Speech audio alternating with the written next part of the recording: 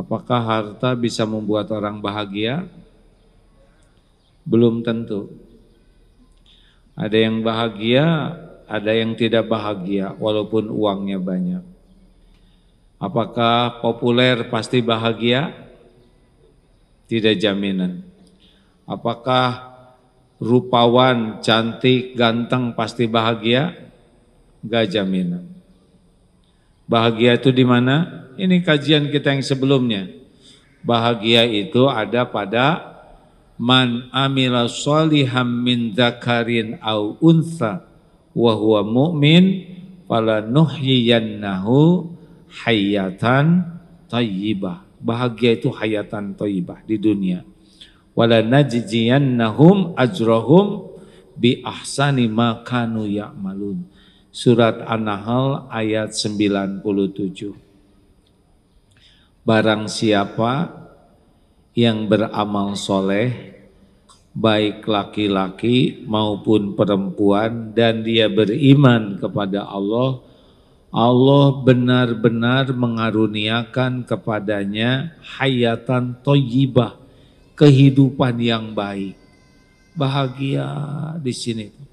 Tenang, sakinah dalam segala keadaan dipuji, dicaci, punya uang, tidak punya uang, sehat, sakit, dilapangkan, sedang dalam kesempitan, diangkat, diturunkan, adem di sininya. Punya suami, belum punya suami, bahagia. Suaminya baik, suaminya kurang baik, kurang bahagia. Ya. Tapi orang yang tahu ilmunya bahagia. Ada seorang ulama sakit empat tahun di opname, ah maaf di rumahnya, tidak di opname, ditengok oleh ulama lain. Bagaimana keadaanmu Syekh? Apa jawabannya? Saya merasa saya ini adalah orang yang paling bahagia Mungkin di dunia ini tidak ada yang lebih bahagia dari saya. Dan benar-benar bahagia beliau. Padahal empat tahun berbaring di kamar. Mengapa beliau bahagia? Karena beliau ridho dengan takdir Allah. Nerima takdir ini.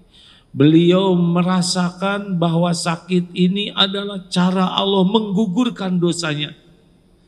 Beliau merasa dengan sakit ini Allah memberikan pahala melimpah ruah. Dengan sakit ini Allah mengangkat derajatnya.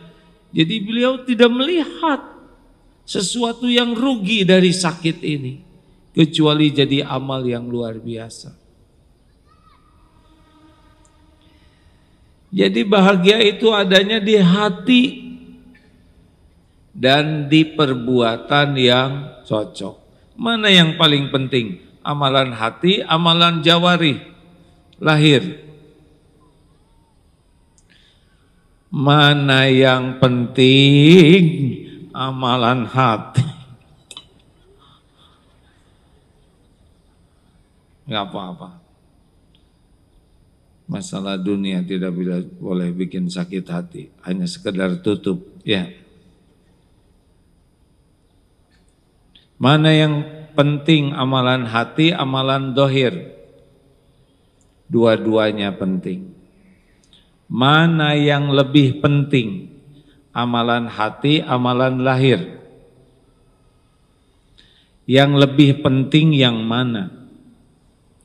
Amalan hati. Iman itu amalan hati. Ridho ke takdir itu amalan hati. Ikhlas itu amalan hati. Tawakal itu amalan hati. Jadi hatilah yang sangat menentukan dan direalisasikan dengan jasad. Tidak semua amalan hati bisa diamalkan oleh jasad. Ada niat haji tapi belum bisa haji tapi niatnya saja sudah jadi kebaikan. Bahagia itu di hati. Contoh, orang yang ikhlas. Orang yang ikhlas kalau beramal, kepuasannya cuma satu, Allah ridho. Selesai. Tidak ribet. Kenapa ibu baik kepada suami? Supaya Allah ridho ke saya. Selesai. Suami mau menghargai, mau tidak menghargai, mau berterima kasih atau tidak, itu tidak ada masalah. Orang ikhlas enggak ribet. Yang ribet itu adalah orang yang sibuknya mencari balasan dari makhluk.